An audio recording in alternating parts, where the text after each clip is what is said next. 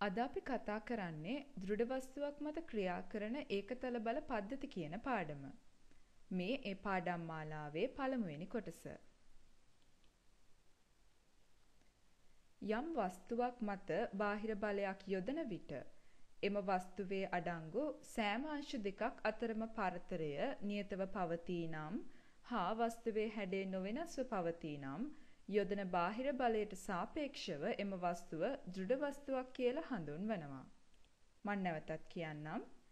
යම් වස්තුවක් මත බාහිර බලයක් යොදනකොට එම වස්තුවේ අඩංගු සෑම අංශු දෙකක් අතරම පරතරය නියතව පවතී නම් හා වස්තුවේ හැඩය නොවෙනස්ව පවතී නම් යොදන බාහිර බලයට සාපේක්ෂව එම වස්තුව දෘඩ වස්තුවක් කියලා හඳුන්වනවා. ඒ කියන්නේ යම්කිසි වස්තුවක් මත බාහිර බලයක් යොදනකොට එම වස්තුවේ අඩංගු සෑම අංශ දෙකක් අතරම පරතරය නියතව පවතී නම් හා වස්තුවේ හැඩය නොවෙනස්ව පවතී නම් යොදන බාහිර බලයට සාපේක්ෂව එම වස්තුව දෘඩ වස්තුවක් කියලා හඳුන්වනවා. උදාහරණයක් විදිහට බැලුම් බෝලයක් ගත්තොත් බැලුම් බෝලය අපි අතින් තෙරපුවාම ඔයගොල්ලෝ දන්නවා ඒකේ හැඩය වෙනස් වෙනවා කියලා. එහෙනම් බැලුම් බෝලය දෘඩ වස්තුවක් නෙවෙයි. මොකද අපි බැලුම් බෝලය මත බාහිර බලයක් යෙදුවාම ඒකේ හැඩය වෙනස් වෙනවා. ඒ නිසා අපි යොදන මේ බාහිර බලයට සාපේක්ෂව බැලුම් බෝලය ගත්තාම ඒක දෘඩ වස්තුවක් නෙවෙයි. ඊළඟට අපි තවත් උදාහරණයක් බලමු. යු නලයක එක් කෙළවරක් වහලා විවෘත කෙළවරින් එම නලයට අපි ජලය ඇතුල් කරොත් ඒ ජල කඳ අපිට මෙන්න මේ ආකාරයෙන් දැක ගන්න පුළුවන්. ඊළඟට අපි මේ විවෘත කෙළවරින් මේ ජල කඳ මත තෙරපුමක් ඇති කරොත් ජල කඳේ පිහිටුම මෙන්න මේ ආකාරයෙන් වෙනස් වෙනවා. මේ අවස්ථාවේදී මේ ජල කඳේ සෑම ජලාංශ දෙකක් අතරම පරතරය නියතව පවතිනවා. ඒ කියන්නේ මේ තෙරපුම ඇති කිරීමට පෙරත් විවෘත කෙළවරෙන් ජල කඳ මත තෙරපුමක් ඇති කරාට පස්සෙත් කියන මේ අවස්ථා දෙකේදීම සෑම ජලාංශ දෙකක් අතරම පරතරය නියතව පවතිනවා.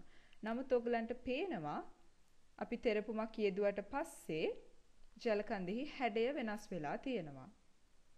ඒ අනුව අපිට කියන්න පුළුවන් මෙන්න මේ ජල කඳ දෘඩ වස්තුවක් නෙවෙයි කියලා. අපි ඉස්සලා කිව්වා දෘඩ වස්තුවක් කියන්නේ යම්කිසි වස්තුවක් මත බාහිර බලයක් යෙදුවාම ඒ වස්තුවේ අඩංගු සෑම අංශ දෙකක් අතරම පරතරය නියතව පවතිනවා නම් සහ ඒ වගේම ඒ වස්තුවේ හැඩය නොවෙනස්ව පවතිනවා නම් ඒ යොදන බාහිර බලයට සාපේක්ෂව ඒ වස්තුව දෘඩ වස්තුවක් කියලා.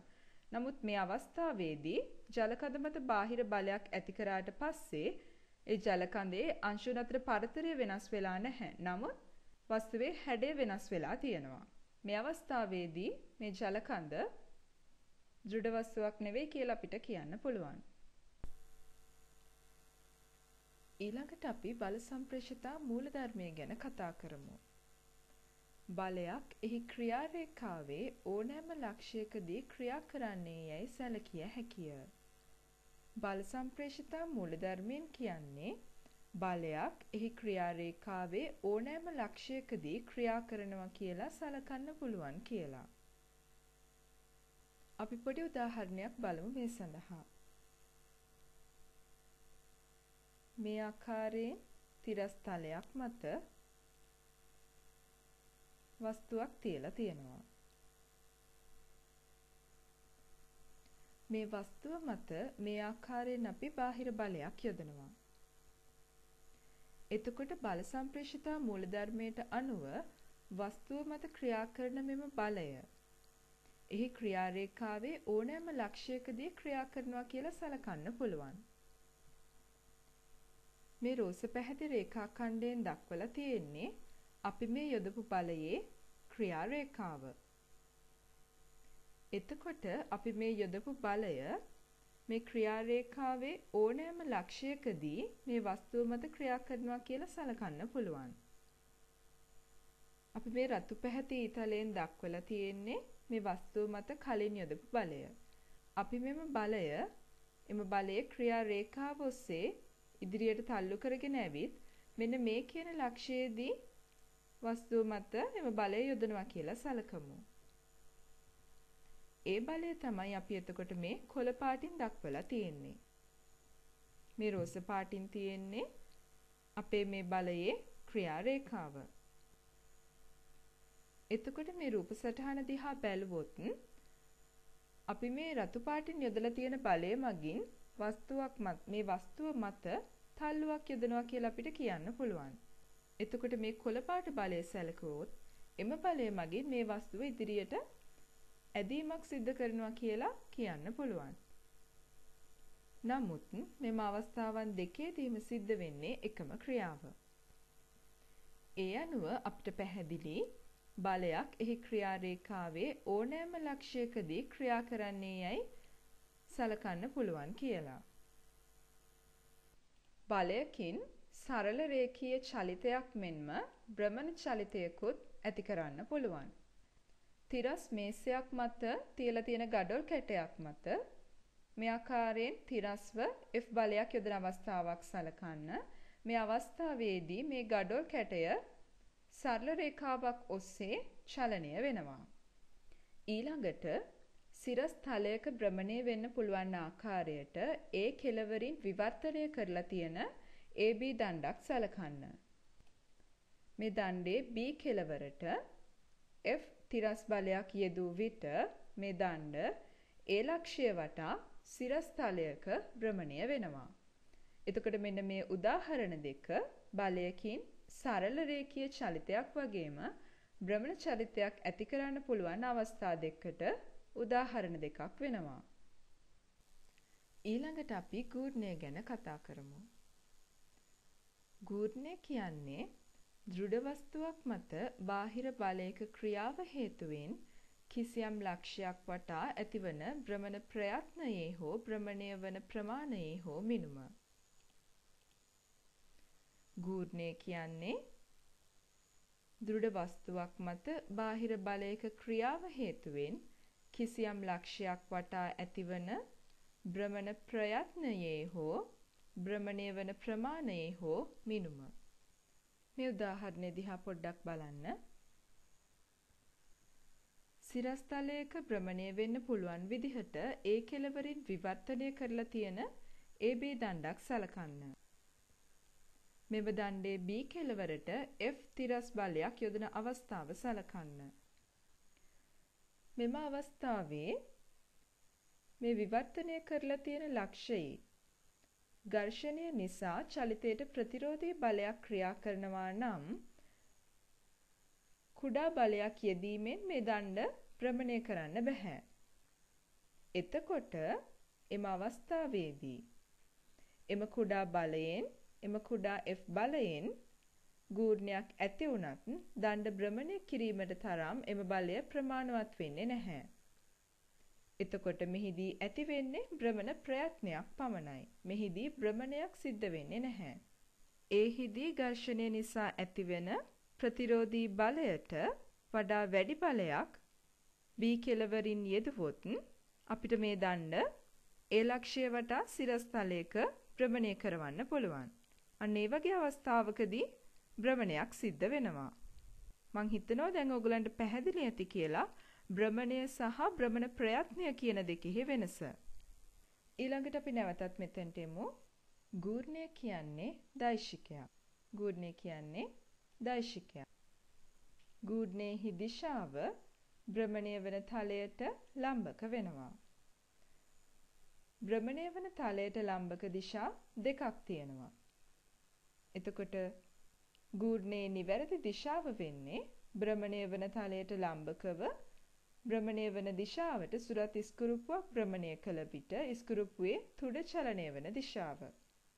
මම නැවතත් කියන්නම් ගූර්ණයේ නිවැරදි දිශාව වෙන්නේ භ්‍රමණය වන තලයට ලම්බකව භ්‍රමණය වන දිශාවට සුරත් ඉස්කුරුප්පුවක් භ්‍රමණය කළ විට ඉස්කුරුප්පුවේ තුඩ චලනය වන දිශාව. ඊළඟ කරුණ තමයි යම් ලක්ෂයක් වටා බලයක ගූර්ණයේ විශාලත්වය කියන්නේ බලයේ විශාලත්වය හා එම ලක්ෂයේ සිට බලයේ ක්‍රියා රේඛාවට ඇති ලම්බදුරෙහි ගුණිතය. යම් ලක්ෂයක් වටා බලයක ගූර්ණයේ විශාලත්වය කියන්නේ බලයේ විශාලත්වය හා එම ලක්ෂයේ සිට බලයේ ක්‍රියා රේඛාවට ඇති ලම්බදුරෙහි ගුණිතය. ඒ කියන්නේ මෙන්න මේ ආකාරයෙන්. O කියලා ලක්ෂයක් තියෙනවා. මේ O කියන ලක්ෂය වටා සිරස් තලයක භ්‍රමණය වෙන්න පුළුවන් ආකාරයට අපි දෘಢ වස්තුවක් විවර්තනය කරලා තියෙනවා. ඒ වගේම මේ වස්තුව මත අපි මේ ආකාරයෙන් F තිරස් බලයක් යොදනවා. එතකොට මේ O ලක්ෂය වටා ගූර්ණයේ විශාලත්වය වෙන්නේ F බලයේ විශාලත්වය හා මේ O කියන ලක්ෂයේ ඉඳලා මෙන්න මේ බලයේ ක්‍රියා රේඛාවට තියෙන ලම්බ දුරෙහි ගුණිතය. O ලක්ෂය වටා වාමාවර්ත ගූර්ණයේ විශාලත්වය අපි G කියලා ගමු. වාමාවර්ත ගූර්ණය කියන්නේ අපි සලකනවා මෙන්න මේ F කියන බලය මගින් මේ වස්තුව මෙන්න මේ ආකාරයෙන් වාමාවර්ත දිශාවට භ්‍රමණය වෙනවා කියලා.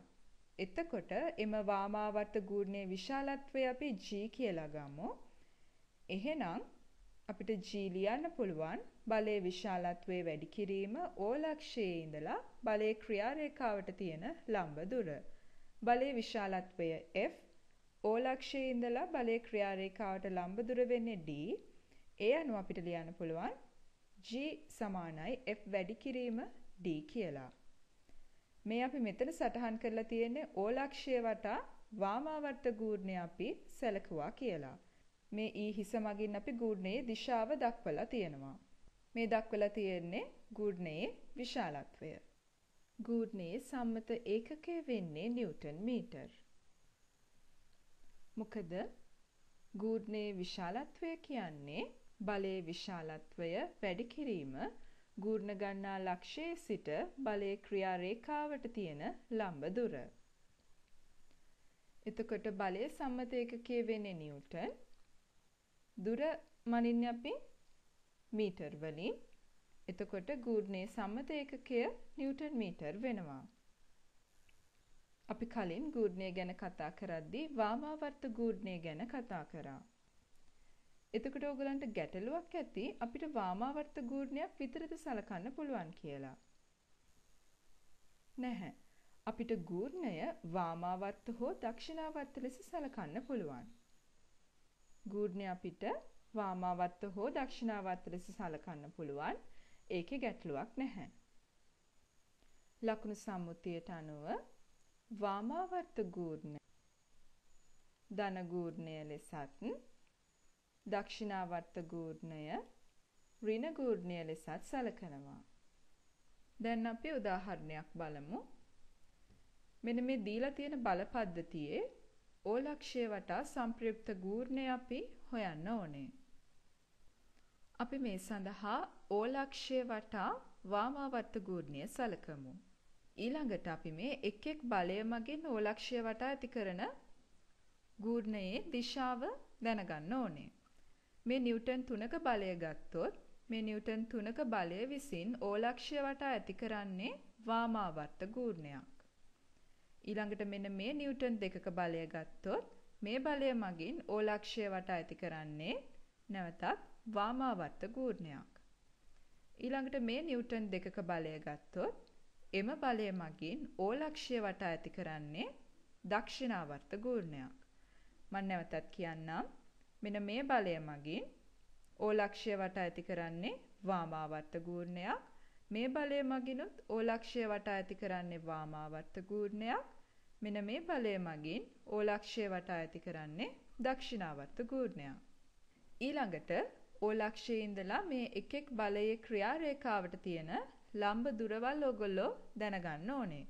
මේ රූප සටහනේ අපිට මේ සෑම බලයකම ක්‍රියාරේඛාවට තියෙන ලම්බ දුරවල් මේ ආකාරයෙන් දක්වලා තියෙනවා. ඒ අනුව දැන් අපිට ඕලක්ෂය වටා වාමාවර්ත ගූර්ණය සලකලා සංප්‍රයුක්ත ගූර්ණයේ විශාලත්වය හොයන්න පුළුවන්. මේ නිව්ටන් 3ක බලය මගින් ඕලක්ෂය වටා ඇති කරන ගූර්ණයේ විශාලත්වය අපිට ලියන්න පුළුවන් නිව්ටන් 3 වැඩි කිරීම මීටර් 2 කියලා. මොකද මෙන්න මේ බලයේ ක්‍රියා රේඛාවට ඕලක්ෂයේ ඉඳලා තියෙන ලම්බ වෙන්නේ මීටර් 2යි. ඊළඟට මේ නිව්ටන් දෙකක බලය මගිනුත් ඇති කරන්නේ වාමාවර්ත ගූර්ණයක් නිසා අපි මේකටම එකතු කරනවා ධන කියලා අපි සටහන් කරනවා. මේ නිව්ටන් දෙක බලයේ බලය මගින් ඕලක්ෂය වට ඇති කරන ගූර්ණයේ විශාලත්වය අපිට ලියන්න පුළුවන් මේ ආකාරයෙන් නිව්ටන් දෙක වැඩි කිරීම මීටර් 3. මීටර් 3 කියන්නේ ඕලක්ෂයේ ඉඳලා මේ නිව්ටන් දෙකක බලයේ ක්‍රියා රේඛාවට තියෙන ලම්බ දුර වෙන්නේ මීටර් 3යි. ඊළඟට මෙන්න මේ නිව්ටන් දෙක බලය සැලකුවොත් එම බලය ඕලක්ෂය වටා ඇති කරන්නේ දක්ෂිනාවර්ත ගූර්ණයක්. අපි මේ අවස්ථාවේදී සලකන්නේ වාමාවර්ත ගූර්ණය. ඒ අනුව දිශාවෙන් ප්‍රතිවිරුද්ධ වෙන නිසා අපි මේ ආකාරයෙන් ඍණ කියලා එකතු ඍණ කියලා සටහන් කරනවා. ඒ අනුව මේ නිව්ටන් දෙකක බලය ඕලක්ෂය වට ඇති කරන ගුණයේ විශාලත්වය අපිට ලියන්න පුළුවන්. නිව්ටන් දෙක වැඩි කිරීම මීටර් 4යි. දැන් අපිට මේ ආකාරයෙන් සුළු කරගන්න පුළුවන්. මෙතනින් අපිට ලැබෙනවා 6යි නිව්ටන් මීටර්. මෙතනිනුත් ලැබෙනවා 6ක් නිව්ටන් මීටර්. මෙතනින් අපිට ලැබෙනවා 8ක් නිව්ටන් මීටර්. මේ ටික සුළු කරාම අපිට මේ ආකාරයෙන් ඕලක්ෂය වටා වාමාවර්ත ගූර්ණයේ විශාලත්වය ලැබෙනවා නිව්ටන් මීටර් 4යි කියලා. අපි ඊළඟ උදාහරණය බලමු. මේ රූප සටහනේ දක්වලා තියෙන බල පද්ධතියේ ඕලක්ෂය වටා සංප්‍රයුක්ත ගූර්ණය හොයන්න ඕනේ. අපි ඕලක්ෂය වටා සංප්‍රයුක්ත ගූර්ණය හොයන්න කලින් මේ එක් එක් වලය මගින් ඕලක්ෂය වටා ඇති කරන ගූර්ණයේ දිශාව දැනගන්න ඕනේ. අපි මේ නිව්ටන් දෙකයි මූල දෙකක බලය සැලකුවොත් එයා මගින් ඕලක්ෂය වටා ඇති කරන්නේ දක්ෂිනාවර්ත ගූර්ණයක්. නිව්ටන් 10ක බලය සැලකුවොත් එයා විසිනුත් ඕලක්ෂය වටා ඇති කරන්නේ දක්ෂිනාවර්ත ගූර්ණයක්. නිව්ටන් 5ක බලය ගත්තොත් එයා විසින් ඕලක්ෂය වටා ඇති කරන්නේ වාමාවර්ත ගූර්ණයක්. ඊළඟට අපි දැනගන්න ඕනේ මේ එක් එක් බලයේ ක්‍රියා රේඛාවට ඕලක්ෂයේ ඉඳලා තියෙන ලම්බ දුර. එතකොට මේ නිව්ටන් දෙකයි මූල දෙකක බලය සැලකුවොත් එයාගේ ක්‍රියාරේඛාවට ඕලක්ෂයේ ඉඳලා තියෙන ලම්බ දුර වෙන්නේ 4ක් sin 45. මොකද මෙන්න මේ දුර දීලා තියෙනවා මීටර් 4යි කියලා. මෙන්න මේ ත්‍රිකෝණය සැලකුවොත් ඒක ඍජුකෝණී ත්‍රිකෝණයක්. මොකද අපිට අවශ්‍ය වෙන්නේ ලම්බ දුර. ඒ අනුව අපිට මෙන්න මේ දුර ලියන්න පුළුවන් 4යි sin 45 කියලා. ඊළඟට නිව්ටන් 10ක බලයේ ක්‍රියාරේඛාවට ඕලක්ෂයේ ඉඳලා තියෙන ලම්බ දුර හොයන්න ඕනේ. ඒ කියන්නේ මෙන්න මේ දුර තමයි අපි හොයාගන්න ඕනේ. ඒ සඳහා මෙන්න මේ ඍජුකෝණී ත්‍රිකෝණය සලකමු. මෙන්න මේ පාදයේ දිග දීලා තියෙනවා මීටර් 6යි කියලා. මොකද මේ කොටස 4යි මේ කොටස 2යි. ඒ අනුව මෙන්න මේ පාදයේ දිග වෙනවා මීටර් 6ක්. මේ කෝණය අපිට අංශක 30යි කියලා දීලා තියෙන නිසා අපිට මේ පාදයේ දිග හොයාගන්න පුළුවන්. මේක ඍජුකෝණී ත්‍රිකෝණයක් නිසා අපිට කෙලින්ම කියන්න පුළුවන් 6යි sin 30 කියලා. ඊළඟට මේ නිව්ටන් පහක බලයේ ක්‍රියාරේඛාවට තියෙන ලම්බ දුර හොයාගන්න ඕනේ ඕලක්ෂයේ ඉඳලා. ඒක අපිට කෙලින්ම මේ රූප සටහනේ තියෙන දත්ත වලින් කියන්න පුළුවන් මීටර් 7යි කියලා. මෙතන 4යි 2යි 1යි. එතකොට ඔක්කොම එකතුව මීටර් 7යි. දැන් එහෙනම් අපිට පුළුවන් ඕලක්ෂය වටා සංප්‍රයුක්ත ගූර්ණය හොයන්න. ඒ සඳහා අපි ඕලක්ෂය වටා වාමාවර්ත ගූර්ණය සලකමු. ඕලක්ෂය වටා සංප්‍රයුක්ත ගූර්ණයේ විශාලත්වය අපිට මේ ආකාරයෙන් ලියා ගන්න පුළුවන්. ඒ සඳහා අපි එක් එක් බලය මගින් ඕලක්ෂය වටා ඇති කරන ගූර්ණවල විශාලත්වයන් එකතු කරන්න ඕනේ. අපි ඕලක්ෂය වටා වාමාවර්ත ගූර්ණය තමයි සලකන්නේ. ඒ නිසා අපි මෙන්න මේ බලයෙන් පටන් ගමු. නිව්ටන් 5යි. නිව්ටන් 5ක බලයට ඕලක්ෂයේ සිට ඇති ලම්බ දුර වෙන්නේ මීටර් 7යි. ඒ අනුව නිව්ටන් 5ක බලය මගින් ඕලක්ෂය වටා ඇති කරන ගූර්ණයේ විශාලත්වය අපිට මේ ආකාරයෙන් ලියන්න පුළුවන්. නිව්ටන් පහ වැඩි කිරීම මීටර් 7. මොකද යම්කිසි ලක්ෂයක් වටා බලයක ගූර්ණයේ විශාලත්වය කියන්නේ ඒ බලයේ විශාලත්වයේ වතාවක් ඒ බලයේ විශාලත්වයට ගූර්ණ ගන්නා ලක්ෂයේ සිට ඇති ලම්බ දුර. ඊළඟට නිව්ටන් 10ක බලය මගින් ඇති කරන ගූර්ණය සලකමු. නිව්ටන් 10ක බලය මගින් ඕලක්ෂය වටා ඇති කරන්නේ දක්ෂිණාවර්ත ගූර්ණයක්. ඒ නිසා අපි ඍණ කියලා මේ ප්‍රකාශනයට එකතු කරනවා. බලයේ විශාලත්වය අපි මේ ආකාරයෙන් ලියනවා නිව්ටන් 10යි. එතකොට බලයේ විශාලත්වයට ඕලක්ෂයේ සිට ඇති ලම්බ දුර වෙන්නේ 6යි sin 30. 6යි sin 30.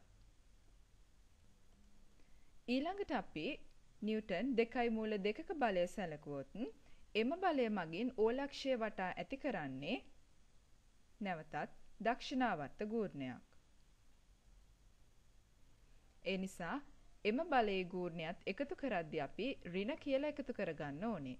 බලයේ විශාලත්වය වෙන්නේ 2යි මූල 2. බලයේ ක්‍රියා රේඛාවට O ලක්ෂයේ සිට ඇති ලම්බ දුර වෙන්නේ 4යි sin 45. මේ ආකාරයෙන් පහළට අපි සුළු කරාම අපිට O ලක්ෂය වටා සංප්‍රයුක්ත ගූර්ණයේ විශාලත්වය ලැබෙනවා නිව්ටන් මීටර් ඍණ 3යි කියලා. එතකොට මොකද්ද මේ ඍණ 3 කියන එකෙන් අදහස් කරන්නේ? අපි මේ අවස්ථාවේදී සැලකුවේ වාමාවර්ත ගූර්ණය. අපිට ලැබුණේ ඍණ පිළිතුරක්. එමගින් අදහස් කරන්නේ මේ බල පද්ධතියේ සංප්‍රයුක්ත ගූර්ණය දක්ෂිනාවර්තයි කියලා. ඒ අනුව අපිට මේ ආකාරයෙන් අවසන් පිළිතුර සටහන් කරන්න පුළුවන්. ඕලක්ෂය වටා සංප්‍රයුක්ත ගූර්ණයේ විශාලත්වය වෙන්නේ නිව්ටන් මීටර් 3යි. ඇති වෙන්නේ දක්ෂිනාවර්ත ගූර්ණයක්. මේ ආකාරයෙන් අපිට අවසාන පිළිතුර සටහන් කරන්න පුළුවන්. ඊළඟ උදාහරණය බලමු. යම් OXY අක්ෂ පද්ධතියක් අනුබද්ධයෙන් දෙකක් i ධන j ලක්ෂයේදී 5යි i ධන 7ක් j බලය ක්‍රියා කරයි. මූල ලක්ෂය වටා මෙම බලයේ ගූර්ණය සොයන්න. දැන් අපි මොකද කරන්නේ? කලින් ගැටලුවල නම් රූප සටහනක් දීලා තිබ්බා. යම් ලක්ෂයක් දීලා තිබ්බා, බල පද්ධතිය දීලා තිබ්බා. ඒ ලක්ෂය වටා ඒ බල පද්ධතියේ ගූර්ණය හොයන්න තමයි තිබ්බේ. දැන් අපිට ලක්ෂයක් දීලා තියෙනවා. ඒ ලක්ෂයේදී ක්‍රියා කරන බලය දීලා තියෙනවා. මූල ලක්ෂය වටා මේ දීලා තියෙන බලයේ ගූර්ණය තමයි අපි හොයන්න ඕනේ. අපි මේ ගැටලුව සඳහා ඉස්සෙල්ලාම රූප සටහනක් ඇඳ ගන්න ඕනේ. ඔගොල්ලෝ දන්නවා අයිදෛශිකය කියන්නේ O මූල ලක්ෂ්‍ය වන OXY khණ්ඩාංක පද්ධතියේ OX හිදිශාවට වූ ඒකක දෛශිකය. එතකොට J කියන්නේ OY හිදිශාවට වූ ඒකක දෛශිකය. එහෙනම් අපි OXY khණ්ඩාංක පද්ධතියක මේ දීලා තියෙන දත්ත ලකුණු කරගමු. O මූල ලක්ෂ්‍ය වන OXY ඛණ්ඩාංක පද්ධතිය සලකමු. OX දිශාවට පවතින ඒකක දෛශිකය තමයි I කියන්නේ. OY දිශාවට පවතින ඒකක දෛශිකය තමයි J කියන්නේ. බලය ක්‍රියා කරන ලක්ෂ්‍ය අපිට දීලා තියෙනවා දෙකක් I ධන J කියලා. ඒ කියන්නේ OX දිශාවට ඒකක දෙකක් දුරිනුත් OY දිශාවට ඒකක එකක් දුරිනුත් වූ ලක්ෂයෙන් තමයි බලය ක්‍රියා කරන්නේ. ඊළඟට බලය අපිට දීලා තියෙනවා 5ක් i ධන 7ක් j කියලා. එහෙනම් i දෛශිකයේ දිශාවට විශාලත්වය ඒකක 5යි j දෛශිකයේ දිශාවට විශාලත්වය ඒකක 7යි. මේ ආකාරයෙන් අපි දෙකක් i ධන 7ක් j කියන ලක්ෂයේදී ක්‍රියා කරන බලය ලකුණු කර ගන්නවා. ඊළඟට O ලක්ෂය වටා මෙම බලයේ ගූර්ණය හොයන්න ඕනේ. O ලක්ෂය වටා වාමාවර්ත ගූර්ණය තමයි මම සලකන්නේ. විශාලත්වය ඒකක 7ක් වන බලය ගත්තොත් එම බලය මගින් O ලක්ෂය වටා ඇති කරන්නේ වාමාවර්ත ගූර්ණයක්. එහෙනම් එම බලය මගින් ඕලක්ෂය වට ඇති කරන ගූර්ණයේ විශාලත්වය මට ලියා ගන්න පුළුවන් 7 වැඩි කිරීම 2යි කියලා. මොකද මේ බලයේ ක්‍රියා රේඛාවට තියෙන ලම්බ දුර වෙන්නේ ඒකක දෙකයි. ඊළඟට මේ ඒකක පහක් වන බලය මගින් ඕලක්ෂය වටා ඇති කරන්නේ දක්ෂිනාවර්ත ගූර්ණයක්. ඒ බලයේ ක්‍රියා රේඛාවට ඕලක්ෂයේ ඉඳලා තියෙන ලම්බ දුර වෙන්නේ ඒකක 1යි. එතකොට විශාලත්වයේ ඒකක පහක් වන බලය මගින් ඕලක්ෂය වටා ඇති කරන ගූර්ණයේ විශාලත්වය මට ලියා ගන්න පුළුවන් පහ වැඩි කිරීම 1යි කියලා. අපි මෙහිදී සලකන්නේ වාමාවර්ත ගූර්ණය. නමුත් විශාලත්වයේ ඒකක පහක් වන බලය මගින් ඕලක්ෂය වටා ඇති කරන්නේ දක්ෂිනාවර්ත ගූර්ණයක්. එම නිසා එම බලයේ ගූර්ණයේ විශාලත්වය එකතු කරද්දී අපි ඍණ කියලා එකතු කරගන්නවා. ඒ අනුව සුළු කරාම අපිට ලැබෙනවා ඕලක්ෂය වටා වාමාවර්ත ගූර්ණයේ විශාලත්වය ඒකක 9යි කියලා. තවත් උදාහරණයක් බලමු. OXY අක්ෂ පද්ධතිය අනුබද්ධයෙන් ලක්ෂ 3ක් දීලා තියෙනවා. ඒ ලක්ෂ්‍ය තුනේදී ක්‍රියා කරන බල පිළිවෙලින් මේ ආකාරයෙන් දීලා තියෙනවා. එතකොට මූල ලක්ෂ්‍ය වටා මේ බල පද්ධතියේ ගූර්ණය තමයි අපි හොයන්න ඕනේ.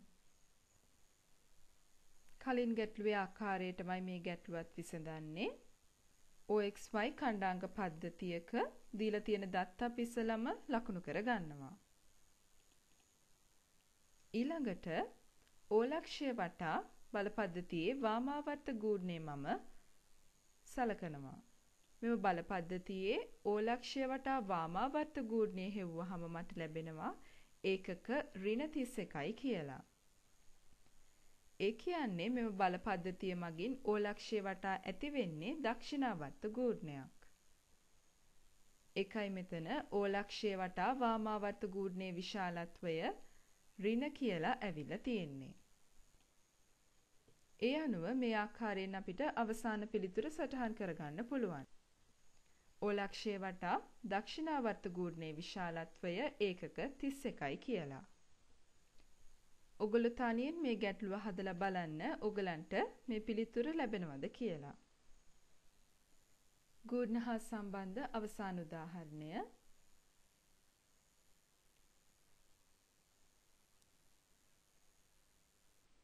මේ ගැටලුව ඔයගොල්ලෝ තනියෙන් හදලා බලන්න.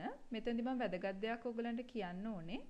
ඒක තමයි මේ BL ඔස්සේ පවතින නිව්ටන් 10ක බලය ගත්තොත් මේ බලය මගින් B වටා ගූර්ණයක් ඇති වෙන්නේ නැහැ. ඒ මොකද මේ බලය B ලක්ෂ්‍ය ඔස්සේ වැටලා තියෙනවා. ඒ කියන්නේ මේ B ලක්ෂ්‍ය හරහා තමයි මේ බලය වැටලා තියෙන්නේ. ඒ නිසා මේ බලය මගින් B වටා ගූර්ණයක් ඇති වෙන්නේ නැහැ. මොකද B ලක්ෂයේ ඉඳලා මේ බලයේ ක්‍රියා රේඛාවට තියෙන ලම්බක දුර ශුන්‍ය වෙන නිසා. ඒ අනුව මෙන්න මේ බලය මගින් B ලක්ෂයේ වටා ගූර්ණයක් ඇති වෙන්නේ නැහැ. අනිකුත් බල හතර මගින් B ලක්ෂයේ වටා ගූර්ණ ඇති වෙනවා.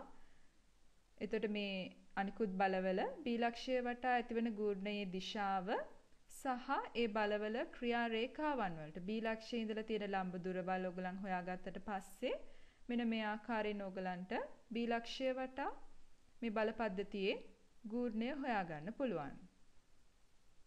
එතකොට අවසන් පිළිතුර වෙන්න ඕනේ. ඔයගලන්ට ලැබෙන්න ඕනේ අවසන් පිළිතුර තමයි B ලක්ෂ්‍ය වටා දක්ෂිණාවර්ත ගූර්ණයේ විශාලත්වය නිව්ටන් මීටර් 4යි මූල 3යි. ඊළඟට F කියලා බලයක් තියෙනවා. O කියලා ලක්ෂයක් තියෙනවා. එතකොට මේ කූර්ණ ගැන අපි කතා කරද්දී අපිට මෙන්න මේ වගේ සම්බන්ධතාවයක් ලැබෙනවා. ඒක තමයි විශාලත්වයෙන් දිශාවෙන් හා පිහිටීමෙන්. ඒ B මගින් නිරූපණය වන F බලයක O ලක්ෂය වටා කූර්ණයේ විශාලත්වය OAB ත්‍රිකෝණයේ වර්ගඵලයමෙන් දෙගුණයක් වේ. OAB ත්‍රිකෝණයේ වර්ගඵලයමෙන් දෙගුණයක් වේ. විශාලත්වයෙන් දිශාවෙන් හා පිහිටීමෙන් AB පාදය මගින් නිරූපණය වන F බලය O ලක්ෂය වටා ඇති කරන ගූර්ණයේ විශාලත්වය OAB ත්‍රිකෝණයේ වර්ගඵලයෙන් දෙගුණයක් වෙනවලු. අපි මේ සම්බන්ධතාවය අපි සාධනය කරලා බලමු. F බලයක O ලක්ෂය වටා ගූර්ණය තමයි අපි හොයන්න ඕනේ. එහෙනම් F බලයේ විශාලත්වය වැඩි කිරීම O ලක්ෂයේ ඉඳලා F බලයේ ක්‍රියා රේඛාවට තියෙන ලම්බ දුර තමයි මේ F බලය මගින් O ලක්ෂය වට ඇති කරන ගූර්ණයේ විශාලත්වය වෙන්නේ. F බලය මගින් O ලක්ෂය වටා වාමාවර්ත ගූර්ණයක් තමයි ඇති කරන්නේ. ඒ අනුව O ලක්ෂය වටා වාමාවර්ත ගූර්ණයේ විශාලත්වය අපිට ලියන්න පුළුවන් F බලයේ විශාලත්වය වැඩි කිරීම OL. OL කියන්නේ F බලයේ ක්‍රියා රේඛාවට O ලක්ෂයේ ඉඳලා තියෙන ලම්බ දුර. මේ F බලය විශාලත්වයෙන් දිශාවෙන් හා පිහිටීමෙන් අපි මේ ආකාරයෙන් AB රේඛා ඛණ්ඩය මගින් නිරූපණය කරගන්නවා. ඒ අනුව O ලක්ෂයත් එක්ක අපිට OAB කියලා ත්‍රිකෝණයකුත් නිර්මාණය වෙනවා. මේ F බලය AB රේඛා ඛණ්ඩයේ නිරූපණය වෙන නිසා F බලයේ විශාලත්වය අපිට ලියන්න පුළුවන් AB දෛශිකයේ විශාලත්වය කියලා. ඒ අනුව මේක අපිට මෙන්න මේ ආකාරයෙන්ුත් ලියා ගන්න පුළුවන්. එතකොට මේ වරහන ඇතුලේ තියෙන භාගයක් AB දෛශිකයේ විශාලත්වය වැඩි කිරීම OL කියන්නේ OAB ත්‍රිකෝණයේ වර්ගඵලය. OAB ත්‍රිකෝණයේ වර්ගඵලය අපිට ලියන්න පුළුවන් භාගය වැඩි කිරීම AB වැඩි කිරීම OL කියලා. ඒ අනුව මෙන්න මෙතන තියෙන්නේ OAB ත්‍රිකෝණයේ වර්ගඵලය. ඒ අනුව අපිට ලැබෙනවා O ලක්ෂය වටා F බලයේ ගූර්ණයේ විශාලත්වය සමාන වෙනවා දෙගුණයක් OAB ත්‍රිකෝණයේ වර්ගඵලය. ඒ අනුව අපි මෙන්න මේ කියපු දේ අපිට ඒ ආකාරයෙන් සාධනය කරගන්න පුළුවන්. විශාලත්වයෙන් දිශාවෙන් හා පිහිටීමෙන් AB දෛශිකය මගින් නිරූපණය වන F බලයක O ලක්ෂය වටා ගූර්ණයේ විශාලත්වය OAB ත්‍රිකෝණයේ වර්ගඵලය මෙන් දෙගුණයක් වේ. ගුණ ගැන කතා කරද්දී අපිට ලැබෙන තවත් සම්බන්ධතාවයක් අපිට මේ ආකාරයෙන් දක්වන්න පුළුවන්. ඒකතල බල පද්ධතියක් ක්‍රියා කරන තලයේ පිහිටි ඕනෑම ලක්ෂයක් වටා එම බලවල ගූර්ණවල වීජීය ඓක්‍ය එම බල පද්ධතියේ සංප්‍රයුක්තය එම ලක්ෂය වටා ඇති කරන ගූර්ණයට සමාන වේ. මම නැවතත් කියන්නම්. ඒකතල බල පද්ධතියක් ක්‍රියා කරන තලයේ පිහිටි ඕනෑම ලක්ෂයක් වටා එම බලවල ගූර්ණවල වීජීය ඓක්‍ය එම බල පද්ධතියේ සංප්‍රයුක්තය එම ලක්ෂය වටා ඇති කරන ගූර්ණයට සමාන වේ. අපි මේ ප්‍රකාශනය උදාහරණයක් ආශ්‍රයෙන් තහවුරු කරගමු. ඒ සඳහා OXY කණ්ඩාංක පද්ධතියේ A කියන ලක්ෂයේදී ක්‍රියා කරන මෙන්න මේ බල පද්ධතිය සලකන්න. අපි මේ බල පද්ධතියේ සංප්‍රයුක්තය ඉස්සලම හොයාගෙන ඉමු. තිරසට හා සිරසට මෙන්න මේ ආකාරයෙන් බල දෙකක් තියෙනවා. විශාලත්වයේ නිව්ටන් දෙකක් වූ බලය තිරසට ක්‍රියා කරනවා. සිරසට ක්‍රියා කරනවා විශාලත්වයේ නිව්ටන් දෙකයි මූල තුනක් වූ බලය. සංප්‍රයුක්තය අපිට ලැබෙනවා නිව්ටන් 4යි කියලා. සංප්‍රයුක්ත බලය තිරසත් සමග සාධන කෝණය ඇල්ෆා නම් අපිට ආනතිය ඇල්ෆා හොයාගන්න පුළුවන්. අපිට ඇල්ෆා ලැබෙනවා අංශක 60යි කියලා. දැන් අපි මේ බල පද්ධතියේ සංප්‍රයුක්තයේ විශාලත්වය හා දිශාව දන්නවා. දැන් අපි ඕලක්ෂය වටා එක් එක් බලයේ ගූර්ණය සලකලා ඕලක්ෂය වටා සම්පූර්ණ ගූර්ණය හොයමු. ඒ සඳහා ඕලක්ෂය වටා වාමාවර්ත ගූර්ණය තමයි මම සලකන්නේ. නිව්ටන් 2 මූල 3ක බලය මගින් ඕලක්ෂය වට ඇති කරන්නේ වාමාවර්ත ගූර්ණයක්. ඒ අනුව අපිට ලියන්න පුළුවන් මේ බලය මගින් ඕලක්ෂය වට ඇති කරන ගූර්ණය 2 මූල 3 වැඩි කිරීම OC. OC කියන්නේ නිව්ටන් 2 මූල 3ක බලයේ ක්‍රියා රේඛාවට තියෙන ලම්බ දුර. ඊළඟට නිව්ටන් 2ක බලය මගින් ඕලක්ෂය වට ඇති කරන්නේ දක්ෂිනාවර්ත ගූර්ණයක්. ඒ අනුව අපි ඍණ ලෙස සටහන් කරනවාය ඍණ දෙක වැඩි කිරීම OD දෙක වැඩි කිරීම OD OD කියන්නේ නිව්ටන් දෙකක බලයේ ක්‍රියා රේඛාවට තියෙන ලම්බ දුර. එතකොට ඒ ලක්ෂය 3.1 ඒ අනුව OC වෙන්නේ 3යි. AC එකයි. ඒ අනුව OD වෙන්නේ එකයි. මේක සුළු කරාම අපිට ලැබෙනවා ඕලක්ෂය වටා වාමාවර්ත ගූර්ණයේ විශාලත්වය නිව්ටන් මීටර් 6යි මූල 3 ඍණ 2.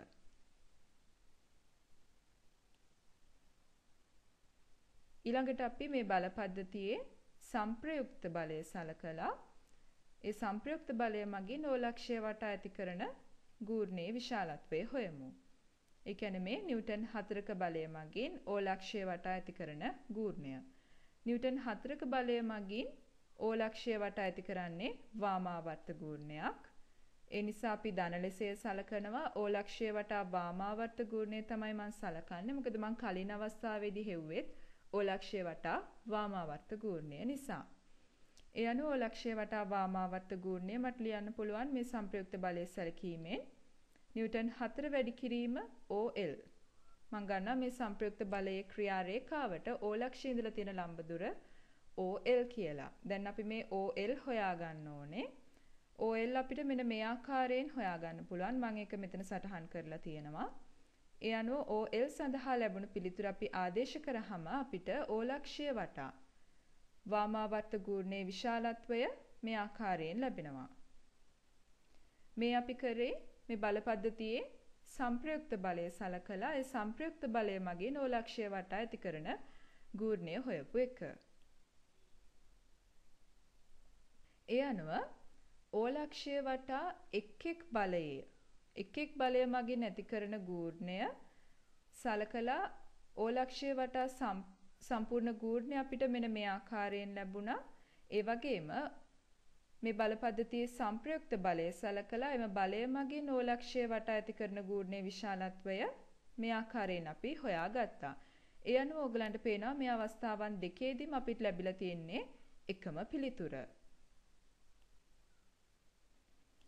ඒ අනුව අපිට කියන්න පුළුවන් ඒකතල බල පද්ධතියක් ක්‍රියා කරන තලයේ පිහිටි ඕනෑම ලක්ෂයක් වටා එම බලවල ගූර්ණවල වීජීය ඓක්‍ය එම බල පද්ධතියේ සංප්‍රයුක්තය එම ලක්ෂය වටා ඇති කරන ගූර්ණයට සමාන වේ කියලා.